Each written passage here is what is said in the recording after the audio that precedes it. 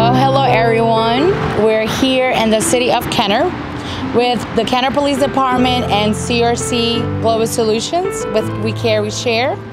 And we're also blessing people for Christmas. We're going around the city. We're going to Williams. We're going to Walmart. We're going to all kind of different locations.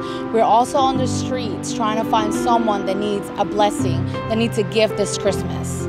So let me share with you guys one of the first persons, one of the first people that we actually stopped today. We figured that today is a good day to spread cheer and uh, and just tell people Merry Christmas and we're out here doing good things too, okay? This lady gave us her little testimony of how she went to her work to see if she was getting paid and didn't pay her. So she was asking God to please bless her.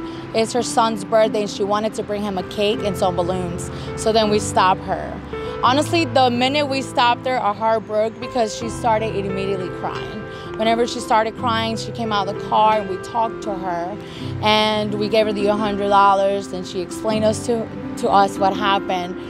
It really touched our hearts. That was our first person we stopped. We got back in the car and all of us, there was five people in the car, we basically wanted to start crying. Most of us cried, our eyes teared up because then you realize how much you could give to the community, how important it is to bless someone's Christmas. It's one of the persons that we found. There was another lady at Walmart.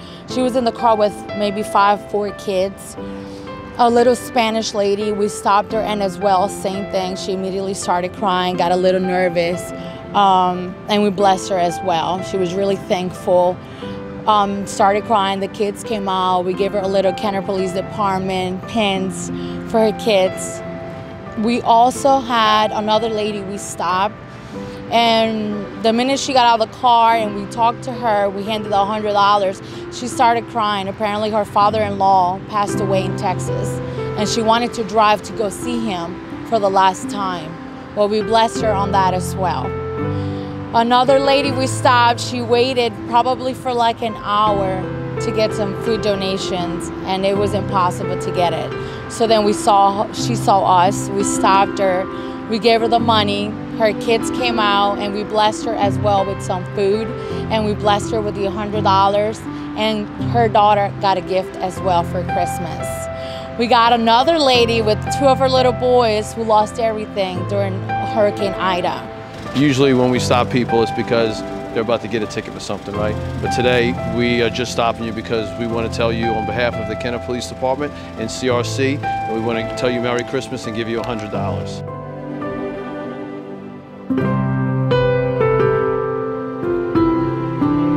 Merry Christmas, sweetheart, okay? Thank you so much. Have a good holiday. I really appreciate it.